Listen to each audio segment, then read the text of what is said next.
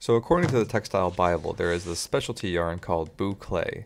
This gathered loopy yarn is very popular for its cozy, curly nubs that are trending among upholstered couches and chairs. The uneven structure of the yarn is what gives textiles made from it that unique texture. So how is boucle yarn made? Boucle yarn is actually comprised of three thinner yarns. It all starts with a strong central core yarn. Your second yarn is what creates the loop texture of the yarn and will be most visible in the finished good.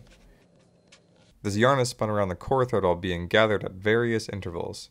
This is the most fun part in the spinning process because you are truly designing what the fabric will look like based off the spacing of the gathered yarns as well as the color of the yarn. Lastly, a very fine yarn or thread is used to secure those gathered yarns in place to make sure they don't fray out or get loose.